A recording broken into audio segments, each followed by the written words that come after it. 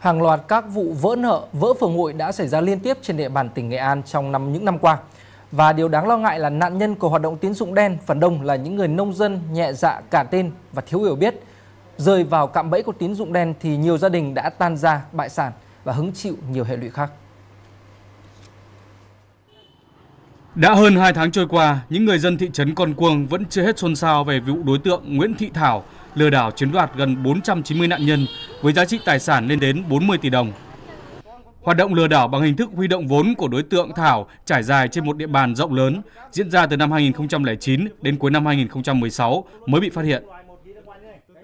Tinh vi ở đây là núp dưới bóng lợi dụng của doanh nghiệp của doanh nghiệp thì hoạt động đến phương thức huy động tiền của người dân về không phục vụ sản xuất kinh doanh nhưng mà dùng cái thủ đoạn là vừa sử dụng vừa là lấy của người trước trả cho người sau tức là tiêu dần trong cái đó.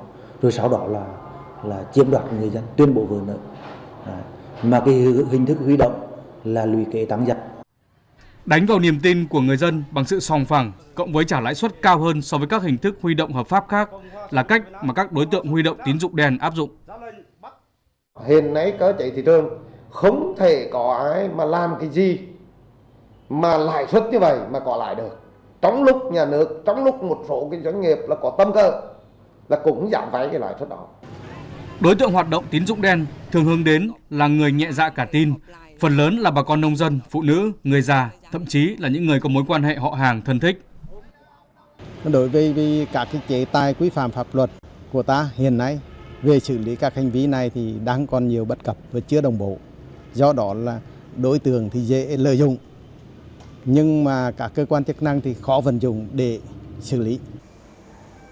Từ năm 2012 đến năm 2015, toàn tỉnh Nghệ An đã xảy ra 154 vụ vỡ nợ, vỡ phường hụi với số tiền thiệt hại khoảng 1.000 tỷ đồng.